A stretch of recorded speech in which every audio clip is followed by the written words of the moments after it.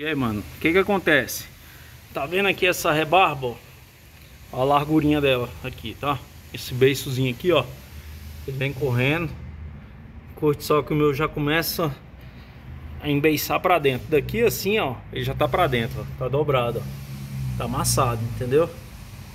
Ele tá danificado assim justamente porque na época eu fiz com uma barra de ferro roliça ou madeira. Você pode ir fazendo ó, e vai amassando ele